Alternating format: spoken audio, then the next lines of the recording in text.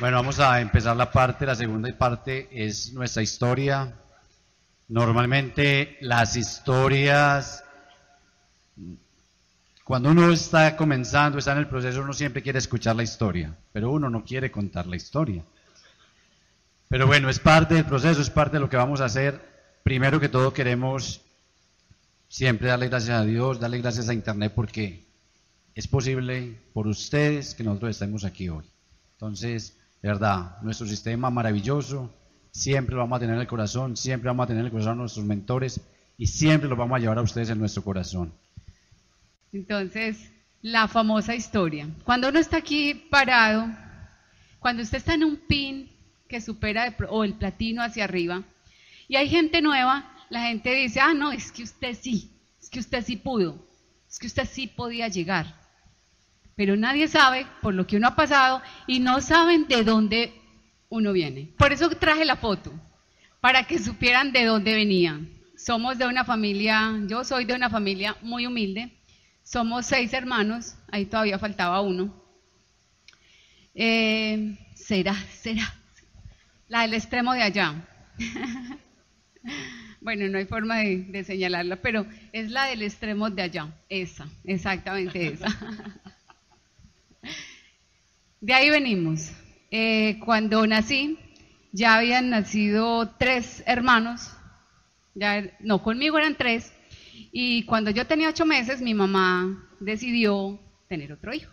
Ya estaba que tenía otro hijo. Estaba bastante enferma y se fue para donde mi abuela a, que mi abuela le cuidara el parto de la cuarta niña, la que me sigue a mí. Y a esos ocho meses a mí me dejaron donde mi abuela, porque mi mamá con tres, nos llevamos de año, mi mamá con tres, y enseguida la otra muchachita, era muy complicado que, que me dejaran ir con ella. Entonces a los ocho meses me quedé donde mi abuela y pasaron muchos días, muchos días, eh, para que yo volviera a regresar a mi casa. Y es un tiempo del que me acuerdo muchísimo, porque aunque haya tenido ocho meses, pasaron muchos más días, y me acuerdo mucho, el haberme quedado allá. Eh, siempre quise eh, volver a mi casa porque mi papá iba por mí siempre y no me llevaba por algún motivo habían algún problema con mi abuelo, pero no me dejaban ir. En todo caso, allá me tenía que quedar. Siempre le doy gracias a Dios de dónde vengo y, lo que me pasó. Lo que siempre la historia, lo que te ha pasado, te lleva a hacer cosas en la vida que uno dice, es que eso, ¿por qué me pasó a mí? Porque Dios siempre tiene un propósito para tu vida. Ya estando pues en la casa, eh, ya estaban todos, o sea, somos siete, ya estaban los demás que faltaban, que no habían nacido. Fue una familia hermosa. Mi papá siempre quiso darnos lo mejor dentro de sus limitaciones. Estando yo en el colegio, mi papá se enfermó y tuvo que quedarse en la clínica mucho tiempo, mucho tiempo es un año, y cuando llegó a la casa, mi papá tuvo un problema de columna y no pudo trabajar, no podía trabajar. Tenía una hernia en la columna y no podía moverse, se quedaba en la cama. Y eso hizo que mi papá acabara con el poquito capital que tenía. De esa época me acuerdo muchísimo porque mi mamá ha sido una mujer muy luchadora. Y teníamos una finca cerquita al pueblo donde vivíamos. Y un día, estoy segura que ese día a mí me tiene aquí parada. Eh, llegué yo al colegio y mi mamá llegó por la tarde de la finca, mi papá estaba en la cama, eh, y me puso a que mm, se volteó y me dijo que si la soplaba, que si le soplaba la espalda.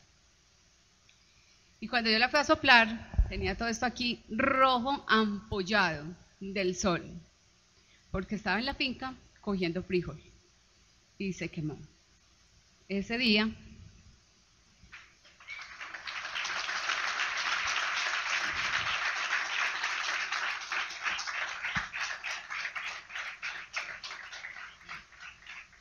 Ese día yo dije que eso no iba a volver a pasar.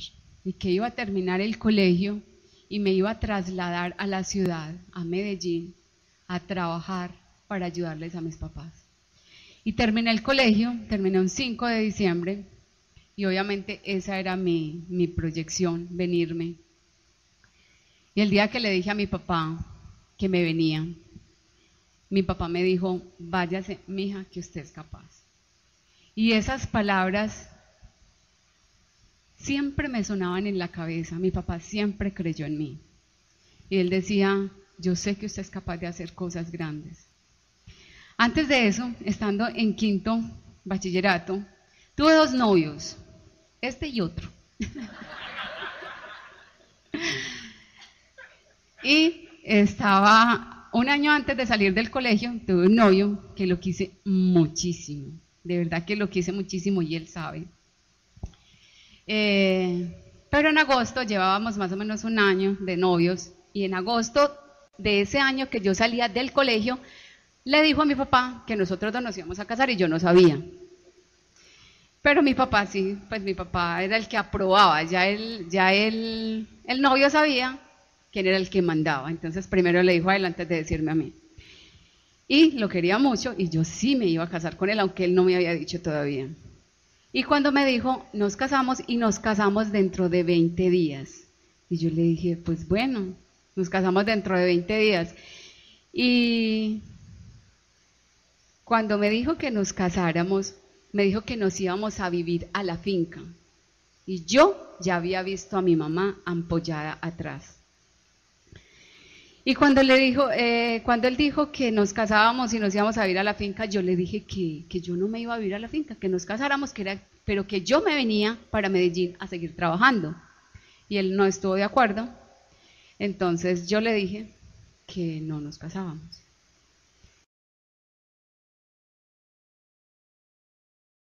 Eh, cuando uno quiere, y dicen que uno quiere, cuando uno quiere hacer lo que sea, pero yo les digo, cuando hay un sueño lo suficientemente grande, los hechos no pueden contar.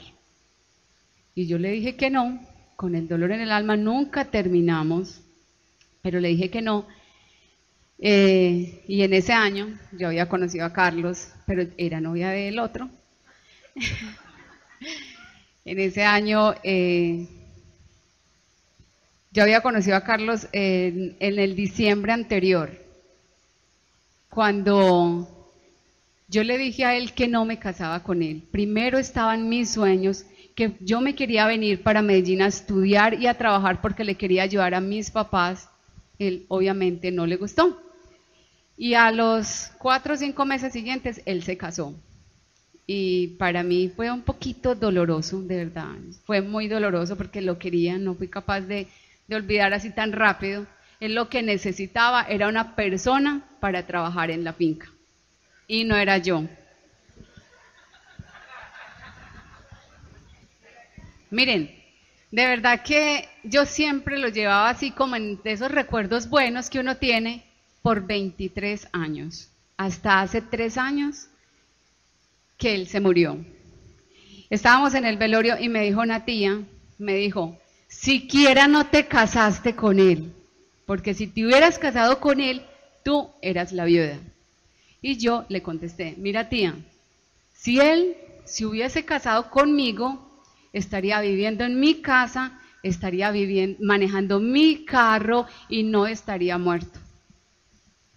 No siempre va a ser lo que el otro quiere. Primero están tus sueños. Pase lo que pase, pon los sueños enfrente pase lo que pase, haz que esos sueños se hagan realidad. Ponle meta a esos sueños. Lo que uno cambia es la estrategia, pero esas metas, esas fechas no se pueden cambiar. Por eso es tan importante y nos dicen siempre, colóquele fecha a los sueños. Por eso no habíamos llegado, ni siquiera platinos, porque no le habíamos colocado fechas porque nos daba miedo. Cuando empezamos a colocar fechas y a decidir si lo hago, pase lo que pase, lo hago, con toda seguridad llega. Eso marcó mucho la diferencia en mi vida.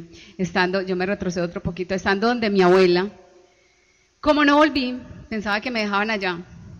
Entonces salían a vacaciones mis hermanas y todo el mundo quería irse para donde la abuela. Y yo no me quería ir para donde la abuela, porque me daba susto que me dejaran allá. Y había un, esto es un, un chiste, pero es verdad, o sea, es una anécdota.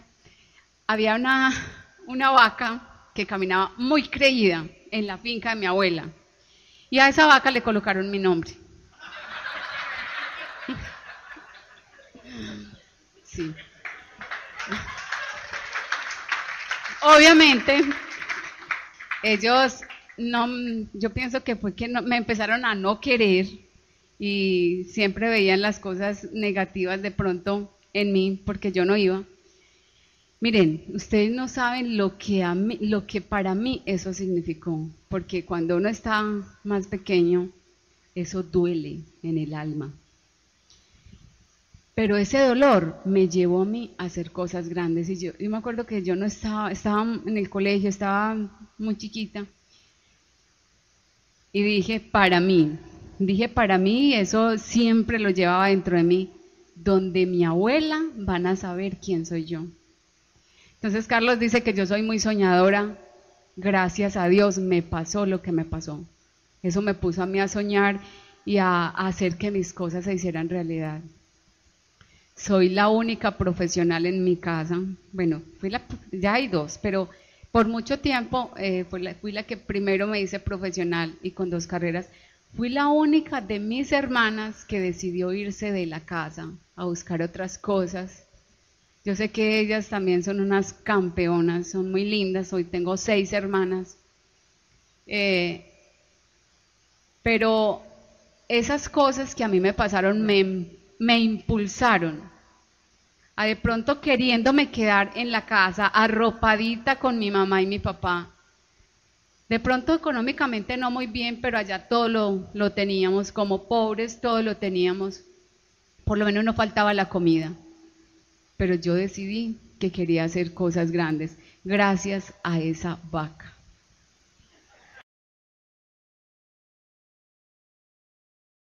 Eh, como ven, nosotros somos todos de descendencia campesina. Yo fui criado en una finca. Somos, fuimos ocho, ocho hermanos. Mi padre y mi madre aún viven hoy, gracias a Dios. Mi padre tiene 84 años, mi mamá 75. Y gracias a Dios mi Padre hoy lo sostenemos a punta de nutrientes, lo mantenemos full, 1A, porque es una persona que nosotros entendimos, entendimos la importancia de nutrirnos. Ellos cuando estábamos en la finca nos nutríamos muy bien, gracias a Dios, porque mi papá fue un excelente trabajador, un excelente hacendado, y en mi familia, gracias a Dios, siempre hubo abundancia, siempre. Éramos muchos, porque tantos niños también cuando eso nos acostábamos 6, 7 de la noche, no había televisión, entonces por eso a ellos les rendía mucho, mucho, mucho.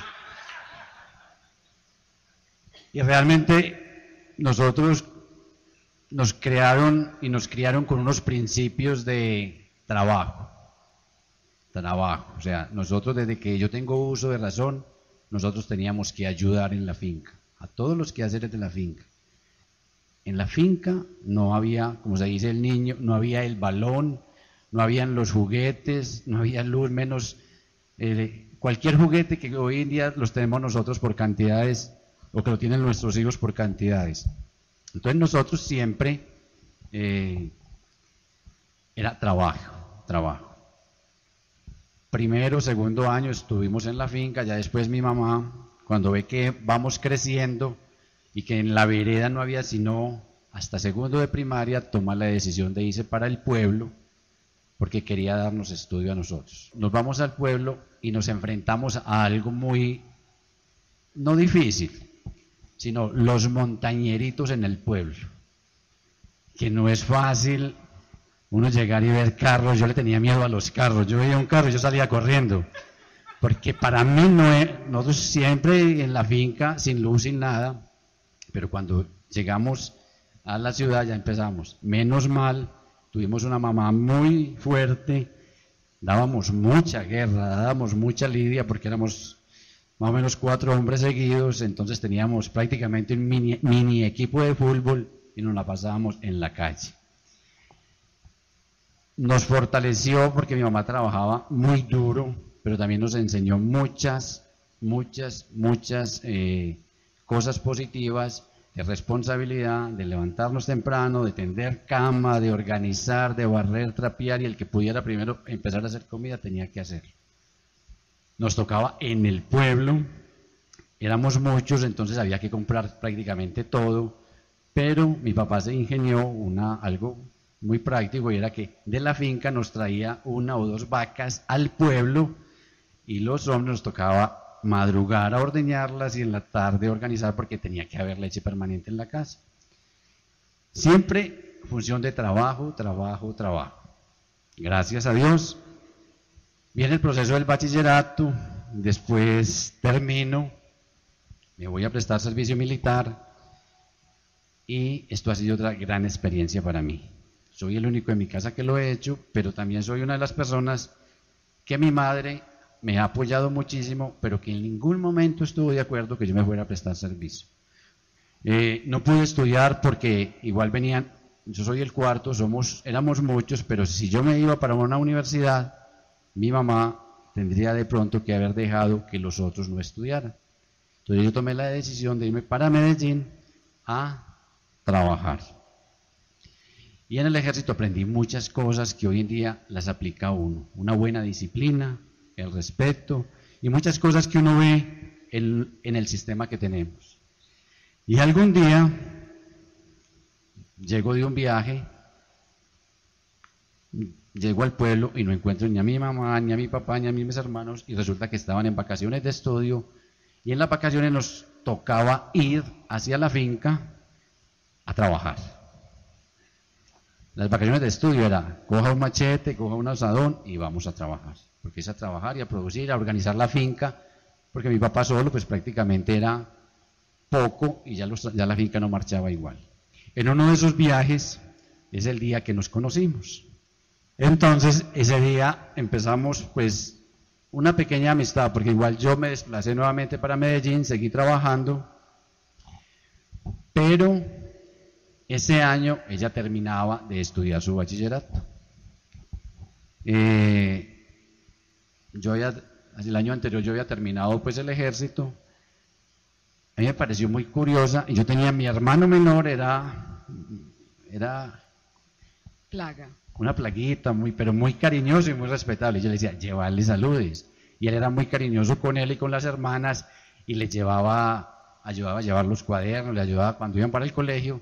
Y yo empecé a mandarle saludos a Leida, pues no sabía si tenía novio o no tenía, pero yo estaba concentrado porque yo también quería ayudarle a mi mamá con la carga de todos una cantidad de estudiantes que habían y quería no quedarme estancado, porque también quiero regresarme hacia atrás. Cuando vivíamos en la finca, había un señor que lo apodaban el bayuno, no sé por qué, pero el señor vivía contando cuántos hombres habían y niños en cada finca.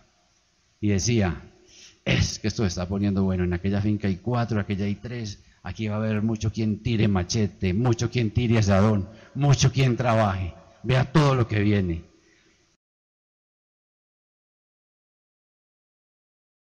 Y miren, las cosas no suceden por casualidad, como decía Leida ahora. Yo jamás me vi en eso. Y me pasaba algo muy curioso. Mi madre, cuando estábamos todos en la finca, pues había mucho trabajo porque se cuidaban cerdos, gallinas, mejor dicho, se hacía de todo. Y mi mamá pedía, le decía a mi papá, déjeme uno de los hombres para que me ayude con las cosas aquí en la casa. ¿Y saben qué? Yo era el que me ofrecía voluntariamente para que me dejara. Porque yo tampoco me veía como un agricultor, no que sea malo ser agricultor, sino en esa finca con ese ritmo de trabajo, de sol a sol, madrugándose, hoy en día, tres de, mis hermanos aún permanecen en esa finca. Y yo les digo a ellos, muchachos, sueñen, construyamos otra cosa, pero esto no es vida. Levantándose a las 4 de la mañana y perdura eso hoy en día todavía. En parte hemos hecho diferencia nosotros. Eh, continúa. Eh, fuimos novios casi cinco años y nos casamos y ahí empezó de verdad otra historia. Yo ya estaba en el banco, yo empecé en el banco cuando salí del colegio a los cinco meses empecé a trabajar en Bancolombia. Salí menor de edad del colegio, empecé a trabajar en el banco menor de edad. Eh, trabajé por 20 años. Nos casamos cuando llevábamos cinco años de novios, ya yo llevaba un rato en el banco. Nos fuimos eh, para la luna de miel y cuando regresamos estaban unos amigos, los que nos hicieron la despedida de solteros, estaban ahí en la casa donde íbamos a vivir, miren, tenemos una repisa y no tenemos muebles. Ellos estaban allá, nos habían hecho el almuerzo. Y esa niña que hay sentada en el piso se llama Luz Jenny Herrera y es mi upline. Estudiamos en el colegio juntas, estuvo muy pendiente de mí cuando me casé. Siempre ha estado ahí, es mi amiga del alma, la quiero con todo el corazón. Cuando empezó a mostrarnos el negocio, eh, nos dijo que nos quería mostrar una oportunidad muy buena. Fue la primera vez y yo andaba con un compañero del colegio y, soltó la carcajada y me dijo, te vas a dejar lavar el cerebro. Ese amigo es un, era un gerente de una empresa, estábamos en la universidad juntos y como él me dijo eso y yo sabía lo que él hacía, yo le creí a él.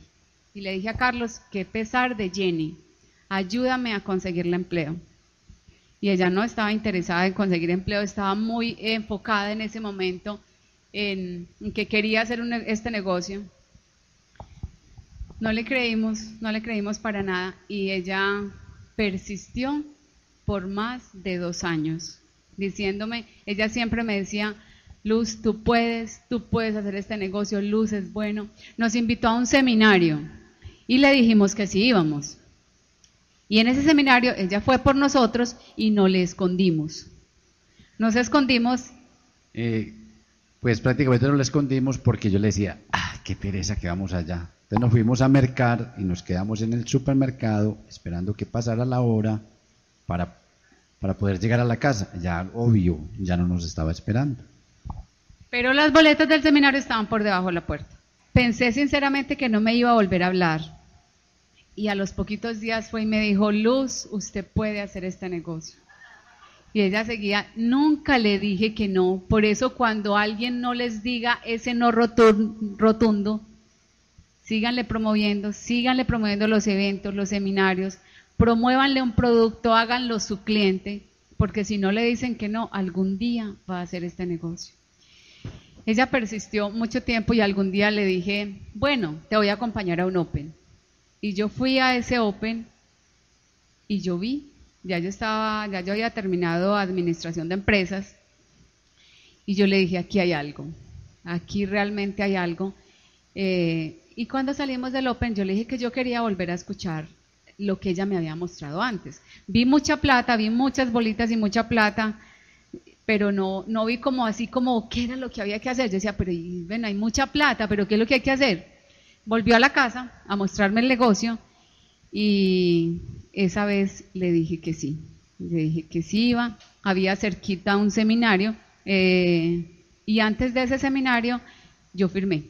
El día que firmé estaba llegando Carlos de viaje. ¿Por qué Carlos llegando de viaje? Vamos a contar un poquito de lo que antes de ahí ¿A qué me dedico yo en este momento? Y cuando conocí a Leida durante el noviazgo, yo empecé a trabajar en un sitio nocturno en Medellín hasta el amanecer. Porque el horario permitido de los sitios nocturnos era 2, 3 de la mañana. Pero había un sitio en especial que amanecía, que era el sitio que recogía la gente o que quería seguir rumbeando, llegaban a ese sitio. Yo llegué ahí a trabajar en ese sitio porque después de mucho insistirle a una cosa, a otra cosa, pero imagínense en ese entonces únicamente una libreta militar y no quería trabajar en vigilancia, no tenía estudio, entonces sirve únicamente para obrero. Ahí no hay más que hacer. Métase a una fábrica, a ganarse un mínimo, a, ganarse eso. Entonces, tomé la opción por un amigo de irme a trabajar allá. Ustedes se pueden imaginar lo que es uno trabajar en un sitio nocturno que recoge toda la gente. En ese entonces, que estaba el dueño de Medellín en todo su furor, con todo lo que sabemos, y realmente eh, no era una situación fácil, pero era una situación que movía muchísimo, muchísimo dinero. O sea, se movía el dinero por cantidades todas las noches, todas las noches. Y bueno, empecé ahí, empecé a ganar muy buen dinero, empecé a aprender muchas cosas de la noche, lo que hace uno en la noche. Empecé a asociarme con los amigos, los mismos clientes nos decían, y eran clientes de tal que llegan a una noche al, estadero a decir, cierren y yo pago todo a partir de este momento. Porque eran la gente que trabajaba con X o Y producto que ya sabemos prohibido, pero que realmente movían cantidades de dinero. ¿Por qué quiero contar esto? Porque yo empecé a consumir mucho licor, empecé a salir con amigos, una vida nocturna y realmente una asociación que no se la deseo yo a nadie. Me volví fanático del fútbol, iba a todos los partidos, bebía en todos los partidos y realmente algún día eso tocó fondo. Algún día uno de esos tantos hombres que le servía yo tanto trabajando en un estadero de esos, tomó la decisión, porque esa gente tienen un estatus, pero esos estatus comprados a la brava, que quieren aparentarle a Raimundo y todo el mundo, tienen los mejores carros, tienen las mejores casas, quieren quedar bien con sus amigos y alguna noche, algún domingo en un estadero de esos, fue tanto el trabajo que tuvimos que todo se agotó, totalmente las carnes, el trago, y llega una invitación de este señor eh, tal y llama, preparen el estadero que viene una visita de Cali y necesitamos atenderlos uno a.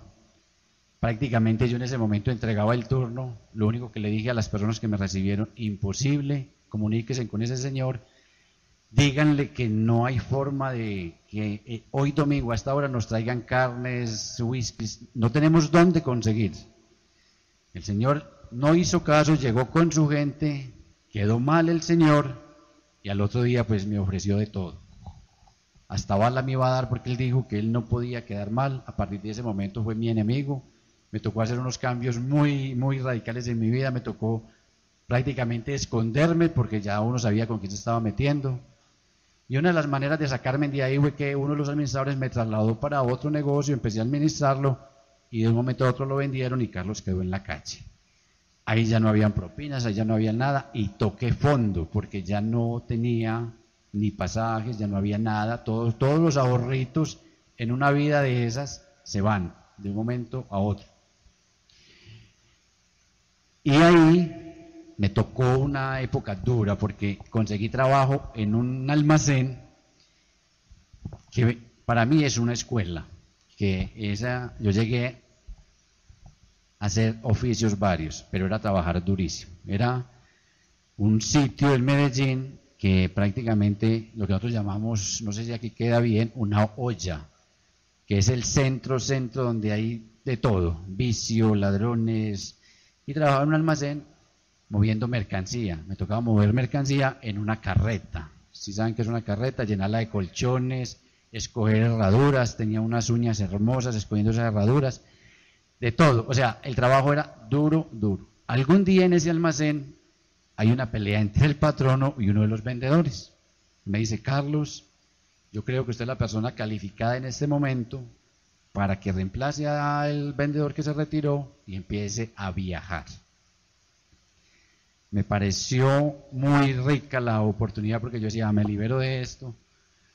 Y yo cuando estaba en Urrao yo siempre me visualizaba, todos los vendedores llegan al pueblo, atienden los clientes, van en carros, tienen buenos viáticos, hoteles, por la noche salen a jugar billar, a jugar cartas, se toman unos traguitos y pasan lo más de bueno. Entonces cuando me dicen que si quería ser vendedor, yo dije que sí. Ahí viene mm, una época un poco difícil porque Aleida no quería los vendedores. Todos los vendedores que iban al pueblo ahorrado conseguían novia y todos tenían dos o tres novias. Cuando él me dijo que se iba de vendedor, yo dije, este va a tener novias en todas partes, entonces ya no me, no, a mí no me cuadraba eso en la cabeza, porque ya él se iba, en todos los pueblos yo me imaginaba, ustedes saben cómo somos las mujeres, ya en todo, me imaginaba que en todos los pueblos iba a tener una novia, por eso no, eso no cabía en mi cabeza. Eh, nos casamos. Eh, después de que nos casamos empezamos la, lo que quieren todas las parejas, tener un hijo. Queríamos tener a, mi Miguel Ángel, queríamos tener tres hijos, habíamos dicho que íbamos a tener tres hijos, pero ese hijo no llegaba, y no llegaba, y no llegaba. Eh, yo no sabía nada de los sueños, de que eso se hacía realidad, pero era una soñadora. Por eso yo les digo, sueñen y sueñen en grande. Todo lo que uno se pone en la cabeza y le permanece ahí, eso llega. ¿Cómo? Yo no sé. Pero ya nos habían dicho pues que no, que no íbamos a tener hijos. Teníamos al frente de la cama un niño gordito, espectacular, que lo saqué de una revista. Y pasó muchísimo tiempo ahí. Eh, alguna vez eh, llegó alguien a mi oficina, que no sé, eso es, mi hijo es espectacular. Llegó un señor a la oficina y yo no atendía clientes común y corriente porque yo era ejecutiva de cuenta y manejaba solo banca pyme. Aquí se dice banca pyme, banca intermedia, pequeña y mediana empresa. Y yo no tenía que atender los clientes de, afuera, sino que nosotros, eh, por algún motivo ese señor se sentó ahí y me contó de unos grupos de oración que, que, era, que venía una pareja que muy hermosa, que oraban por todo el mundo y me dijo que fuera y yo fui. La primera vez fui sola, y fue en una sola semana y la segunda vez fui con él. Ya llevábamos 12 años de casados y no había podido llegar Miguel Ángel. Ya habíamos desistido, pues nos hicimos, nos hacíamos... Pero sí trabajábamos. nos hacíamos todo lo que nos decía que era bueno, pero Miguel Ángel no llegaba. No teníamos omega. y algún día el día que fui a, esa, a, la segunda a la segunda oración, que fui con él, yo salí convencida que estaba esperando bebé y aún no había engendrado. Me di cuenta, era tanta la, fue tanta la fe y la convicción de que yo estaba en embarazo, que a los cuatro días de estar en embarazo, yo me fui a hacer la prueba. Estaba trabajando por la... Llegué por la mañana, toda la semana le dije a mi compañera del lado, Gloria, estoy en embarazo. Entonces ella me dijo, llevas como seis años diciéndome lo mismo. Porque yo me hice todas las pruebas de embarazo. Y, ese día, eso fue un viernes, yo le dije, eh, Gloria, por la tarde me voy a ir a hacer la prueba de embarazo. Ella soltó la carcajada. Porque ya sabía, ya ya sabía que yo no iba a tener bebés, pues le había dicho. Y fui, el horario en el banco era de hasta las 12 del día, salíamos a almorzar, todavía es así, y volvía a trabajar a las 2 de la tarde. Y yo me fui a hacer la prueba de embarazo un viernes a las 2 de la tarde. Y cuando eh, estaba allá, me, me hice la prueba y le dije a la niña que si, que si la podía esperar y me dijo, no, mañana. Y yo, no, es que yo la necesito ya, pero yo sentía después de que empecé como a, a reflexionar sobre lo que yo hice ese día, me di cuenta que no era yo. Y yo le dije, no señora, es que yo la tengo que esperar. Y me dijo, pero es que se le demora una hora y media el resultado. Yo le dije, no importa. Y me senté. Yo creo que a mí ese tiempo se me hizo como dos minutos, porque yo me quedé ahí. Yo sé que pasó hora y media, pero yo me quedé ahí. Cuando ella salió, yo le dije, ¿qué hubo? Y me dijo, ya salió. Y yo le dije, bueno, ¿y qué pasó? Cuando me dijo que, que era positiva, yo la cogí de los hombros y la sacudí y le dije que me explicara. Una compañera de ella eh, se extrañó, ella fue amiga por hasta que estuve en esa, en esa sede. Y, y, una compañera como que me preguntó, bueno, ¿y qué está pasando? Porque yo la sacudí fuerte, yo le dije, a mí me hace el favor y me explica, porque yo no entendía el resultado. Y me dijo que sí, que estás en embarazo. Y yo la sacudía más duro y me puse a llorar. Eh, yo había ido en un carro que teníamos en un sprint. ¿Aquí hay sprint? Sí. Eh, había ido allá al, laboratorio. Yo salí caminando rápido, rápido, se me olvidó que iba en carro. Iba, ya llevaba como tres cuadras y me, y me acordé del carro. Yo, el carro. porque ese día llegaba Carlos de viaje. Y iba caminando cuando llamé a Carlos y yo y lo llamé llorando. Yo no, no o sea, desde que me dieron el resultado yo no paré de llorar. Y cuando me eh, lo llamé y le dije que era que yo tenía un problema muy grande, pero no era capaz de decirle. Él le dije tantas veces, él colgué, él me llamó y me dijo, ¿qué te pasó? ¿Te robaron el carro? Y yo dije, el carro. Y me devolví por el carro. Se me había olvidado. Me fui para un almacén, después seguía llorando, me, fui para un almacén a comprar una tarjeta, se me ocurrió en el momento, a comprar una tarjeta porque yo no sabía cómo decirle el problema tan grande que tenía. Le compré una tarjeta y una torta y, unos, y un escarpín. Y dentro de ese escarpín le metí el resultado. Y cuando llegó, me llamó por ahí cinco o seis veces, decime qué fue lo que te pasó, estaba bravo. Y cuando llegó a la casa, Volvió y me preguntó, yo seguía llorando, me fui para la cocina, saqué el plato en donde tenía la torta con, la, con el papel encima. La señora que me estaba ayudando ya no entendía qué era lo que estaba pasando. Y llegué y le coloqué a Carlos en la mesa ese plato a toda gana y le dije, este es el problema que tengo. y cuando Carlos lo abrió... Me disculpa, eh, yo realmente ese día me desesperé, me ofusqué porque pues, uno tiene confianza, quiere que le cuenten, le digan algo, pero ni por mi mente se me pasó que ya estaba haciéndose una prueba de embarazo. Y llorando, desesperada, que tenía un problema, hasta que le dije, bueno, váyase, ponte la mejor amiga y le cuenta su problema. Si no es capaz de decirme a mí, vaya, cuéntele. O sea, ya estaba como ofuscado de decirme, tengo un problema, tengo un problema, pues no se atrevía a soltarlo. Y le digo, vaya, se pone el mejor amigo, que le tenga confianza y cuéntele. Grata sorpresa, gracias a Dios, gran bendición. En ese momento, pues, yo no soy muy efusivo, pero realmente la miré, yo la abracé y le dije que realmente era el mejor regalo que Dios nos podía colocar en ese momento en nuestro, en nuestro hogar. Sí me acuerdo que miró hacia arriba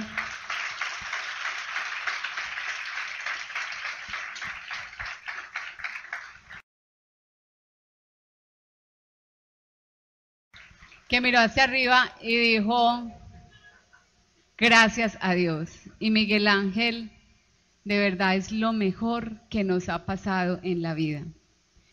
Bueno, eh, ha sido una época para mí pues difícil cuando seguí viajando porque para mí no ha sido fácil dejarlos en casa, no ha sido fácil. Por eso cuando nosotros tomamos la decisión en serio de empezar a construir la oportunidad de negocios. Y en serio es que decidimos no faltar nunca más a un evento. Nunca más. Desde que nos inscribimos prácticamente tomamos la decisión de estar en todos los seminarios, en todas las convenciones. Si estamos en Medellín, la prioridad para nosotros es el Open, la prioridad es el entrenamiento, la prioridad es el trabajo. Realmente una decisión que realmente supimos tomar. Y quiero decir que para mí era muy duro dejarlo, porque cuando ya él, Miguel Ángel podía hablar, siempre me reclama, papi, no viajes tanto. Papi, ¿cuándo te vas a quedar más tiempo con nosotros? Es una persona súper cariñosa y amoroso con los dos, pero mucho más con la mamá. Y el papá, diario que llego, yo sé que tengo que prepararme porque él me va a recibir muy cariñosamente, pero quiere jugarme brusco, duro. Lo que no puede hacer con la mamá, quiere hacerlo con el papá. Y lo ha entendido de una manera espectacular. Y antes de salir esta semana para este viaje me decía, papi, ¿ustedes por qué no me llevan a los viajes de Amway? Porque hace, eh, ahorita le vamos a mostrar, hace poco estuvimos en un viaje de comercialización, tampoco lo podíamos llevar, Dentro de 15 días viajamos para la convención, pero le dijimos, te vamos a llevar a la convención. Entonces, como está en vacaciones, ya estamos cuadrando para que alguien viaje con nosotros, se quede con él en el hotel y él pueda disfrutar. Ya está feliz, está contento y realmente va a querer estar cerca de nosotros. Realmente nosotros siempre queremos tratar de estar el más tiempo cerca posible. Para Leida no ha sido fácil. Yo sé que no ha sido fácil porque independiente de donde uno esté, se siente soledad. Yo siento soledad viajando, yo sé que ellos sienten soledad.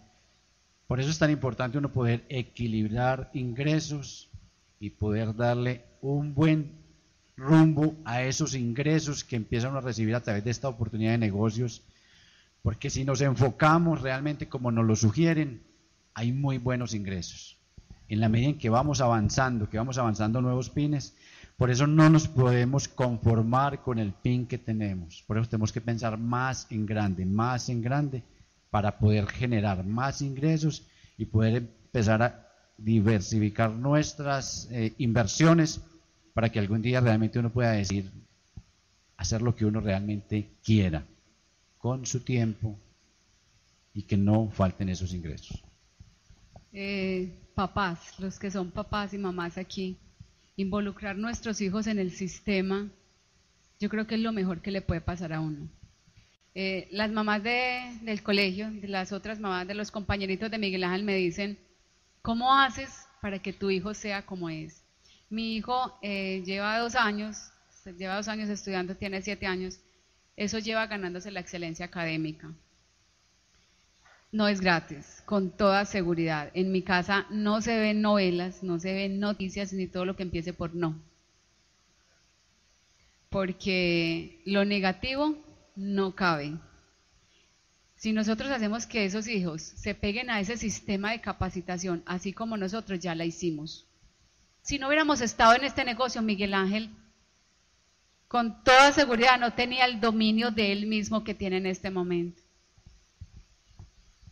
Esto es muy lindo, o sea, es un proceso muy lindo vivir con los hijos, pero este crecimiento es permanente.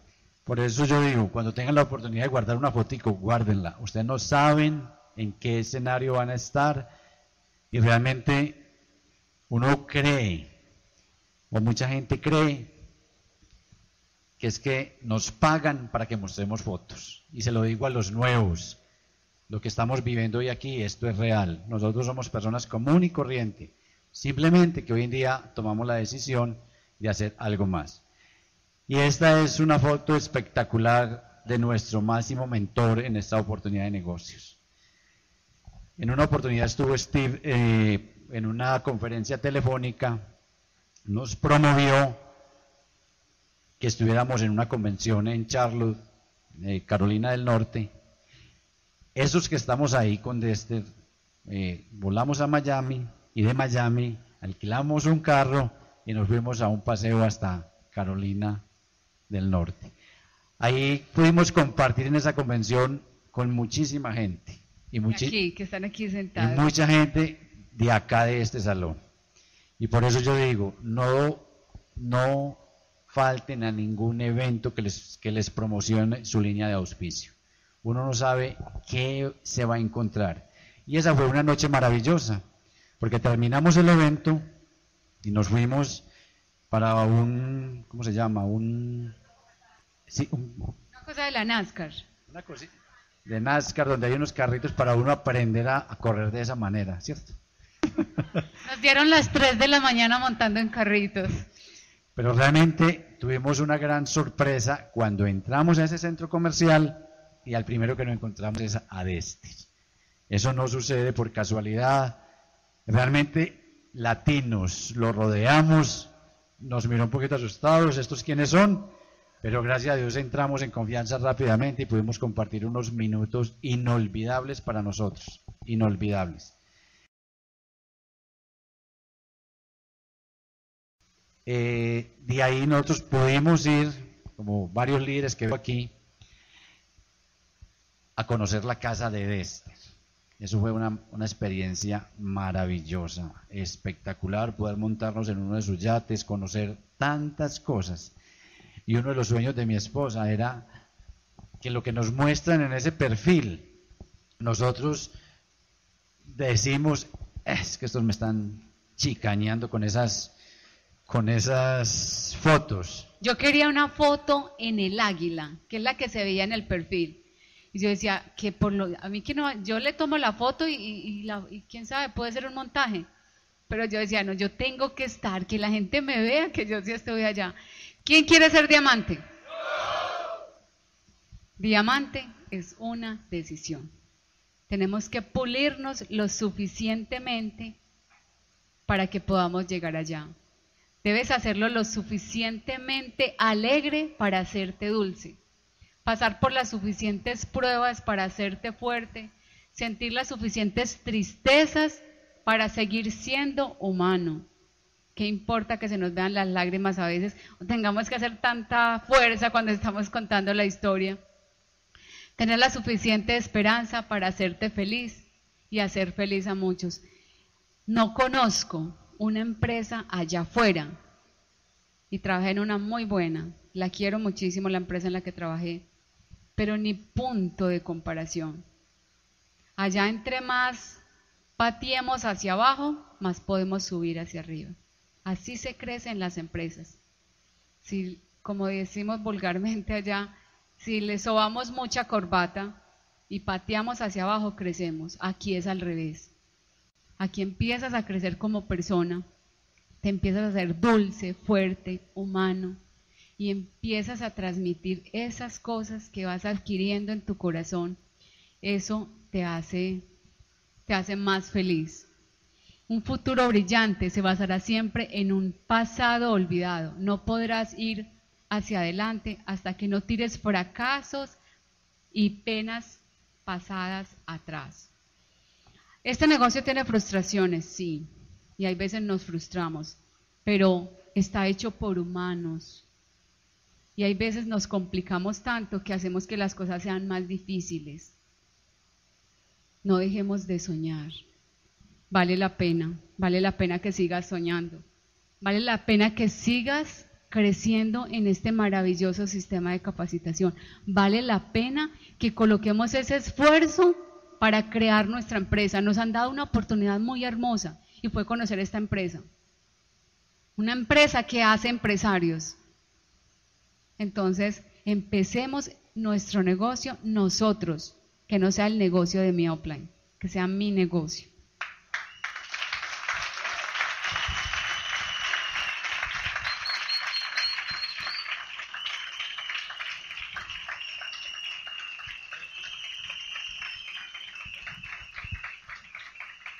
Siempre me ha gustado asociarme con gente, con gente buena.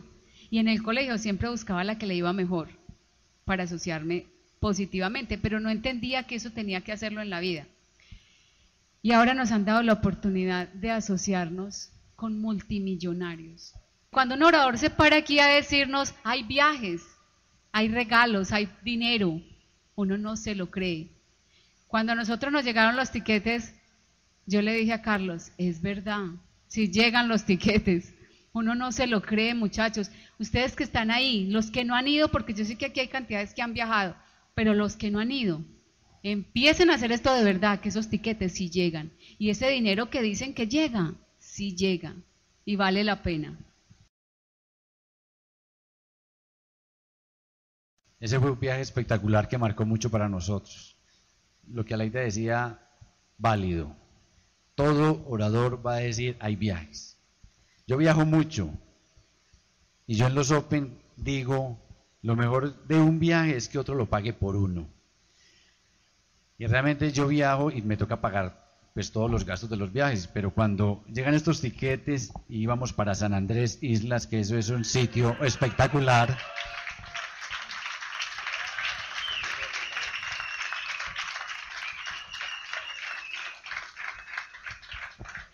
Y ese viaje marcó para nosotros mucho.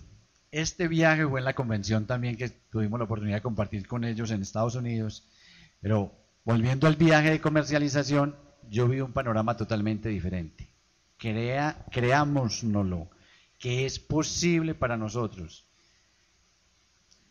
En ese momento Amway no, o sea, ellos no son, como decimos nosotros, chichipatos amarrados tacaños. Realmente le cuento que a todo dar. Nosotros era el primer viaje que hacíamos de comercialización. Esto abre realmente un panorama cuando logras disfrutar un viaje en la corporación. Esto es espectacular. Usted sabe que la corporación es dueña de muchas, de muchas, de muchas cosas, entre ellos el agua y arena donde juega el, los Orlando Maggi, espectacular. Estamos de moda en este momento. Pues no sé si ganó perdió, no sé cómo está la cosa, pero realmente, mire, la empresa con que estamos asociada, asociados es una empresa, espectacular.